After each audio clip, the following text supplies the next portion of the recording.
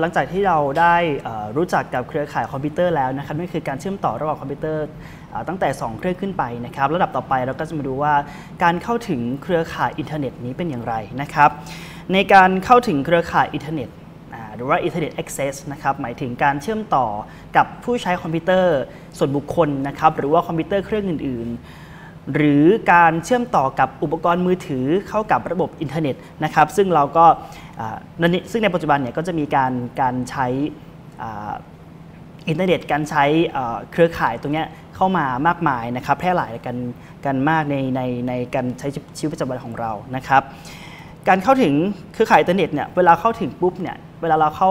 ในตัวของของตัวเบราว์เซอร์นะครับเราก็จะพิมพ์หรือว่าการ search ข้อมูลนะครับ ซึ่งในการหาที่อยู่ในการพิมพ์ที่อยู่ของของของเว็บไซต์ตรงนี้เนี่ยนะครับก็จะเป็นมีชื่อของเขานะครับ อย่างตัวนี้เรียกว่า URL นะครับ ซึ่งย่อมาจากคำว่า Uniform Resource Locator นะครับ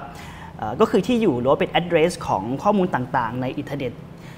เช่นที่อยู่ของไฟล์หรือเว็บไซต์บนอินเทอร์เน็ตนะครับ อย่างสมมุติว่า ถ้าเราจะไปบ้านใครสักคนหนึ่งนะครับ เราก็ต้องรู้ว่าเขามีบ้านเลขที่อะไรนะครับ ตัวนี้ก็เหมือนกันนะ URL ตรงนี้เราก็จะรู้ว่าเราจะไปที่ไหนเว็บไซต์ของใครไปบ้านของใครเราก็จะไปตรงนั้นนะครับทีนี้มาดูว่ารูปแบบของ URL มีอะไรบ้างนะครับ อย่างยกตัวอย่างที่ผมเอามานะครับ อย่างเช่น http เห็นไหมครับ colon slash slash www thai ban nok com slash education ทับ computer htm ตรงนี้ ตัวแรกนะครับที่เป็น http เห็นไหมครับ ตัว http ตัวแรกเนี่ยคืออะไรนะครับ ก็ย่อมาจาก hypertext transfer protocol นะครับต่อมานะครับ ก็เป็นชื่อเครื่องคอมพิวเตอร์นะครับ แล้วก็ชื่อเครือข่ายย่อยอย่างเช่น www thai ban nok เห็นไหมครับ ตัวนี้ก็จะเป็นของอชื่อเครือข่ายนะครับ ต่อไปที่เป็น .com .com ตัวนี้จะเป็นประเภทของเว็บไซต์นะครับ ซึ่งตัว .com ตัวนี้มันก็จะมีหลายประเภทนะครับ ตัวโดเมนตัวก็จะมีหลายประเภท อาจจะเป็น .edu .com .ac .th อะไรก็ว่าไปนะครับเดี๋ยวเราจะมาเรียนรู้ต่อไป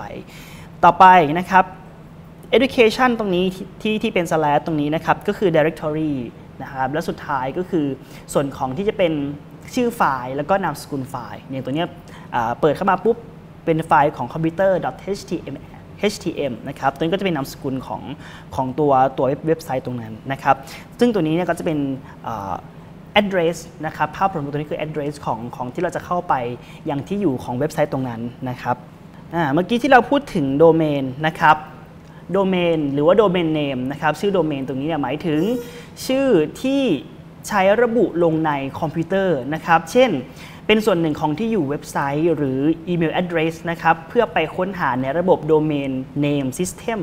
นะเพื่อระบุถึงเลขที่อยู่ IP ของชื่อนั้นๆนะครับ เป็นชื่อที่ผู้จดทะเบียนระบุให้กับผู้ใช้นะครับ เพื่อไปยังเว็บไซต์ต่างๆ ของตนบางครั้งอาจจะใช้ที่เว็บไซต์แทนก็ได้นะครับ ที่มาดูว่าการแบ่งกลุ่มโดเมนเนี่ย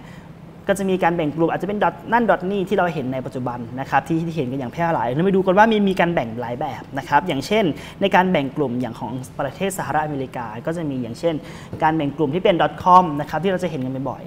.com เนี่ยก็จะเป็นของกลุ่มธุรกิจของพวกการค้านะครับอย่างเช่น www.hotmail.com นะครับ clipmas.com ที่ที่ลงท้ายด้วย .com ต่าง ๆ ตัวนี้เนี่ยก็จะเกี่ยวกับองค์กรทางด้านธุรกิจ .org นะครับ ตรงนี้ก็จะเป็นลักษณะของหน่วยงานที่ไม่หวังผลกำไรนะครับ ก็อย่างเช่นตัวอย่างเช่น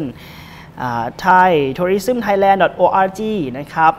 th.wikipedia.org ตัวนี้เนี่ยก็จะเป็นหน่วยงานที่ที่ทำเพื่อสังคม ตัวนี้ก็ก็จะไม่หวังผลกำไรไม่ไม่ได้พูดถึงส่วนของ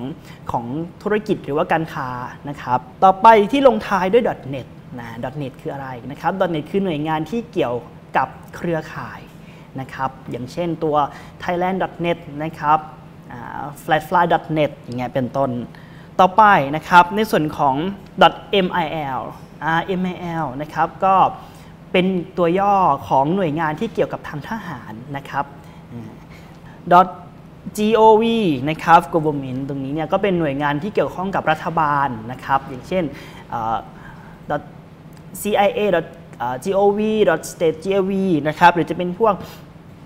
ที่เกี่ยวกับองค์กรที่เกี่ยวกับหน่วยงานของรัฐบาลต่างๆ ก็จะลงท้ายด้วย .gov นะครับสุดท้ายก็จะเป็นเกี่ยวกับ education.edu นะครับตรงนี้ก็จะเป็นเกี่ยวกับสถาบันการศึกษานะครับอย่างเช่น ถ้าเป็นมหาวิทยาลัยก็จะเป็นถ้าเป็นชื่อของสถาบันการศึกษาอย่างเช่น bbc.th.edu นะครับนะก็จะรู้ว่าอ๋อนี่คือ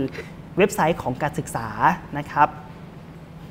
อย่างอย่างตัวอย่างตรงนี้นะครับ ทีนี้ในการแบ่งกลุ่มโดเมน นอกจากสหรัฐอเมริกาแล้วก็จะมีการแบ่งกลุ่มประเทศอื่น ๆ อีกนะครับ อย่างตัวอย่างเช่นนะครับ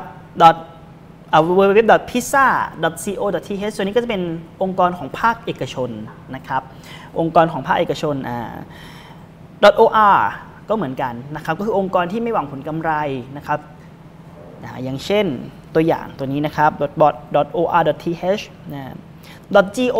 อ่า .go.th อะไรพวกนี้ก็เป็นหน่วยงานทางราชการนะครับ .customs.go.th หรือจะเป็นพวกเกี่ยวกับ .ac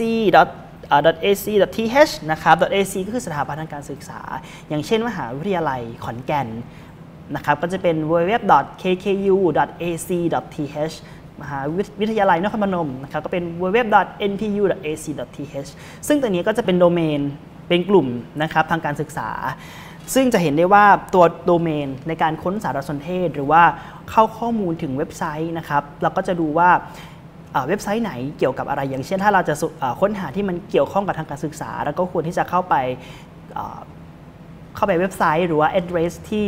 ที่เกี่ยวข้องกับสถาบันทางการศึกษา ก็จะมีความน่าเชื่อถือมากกว่านะครับ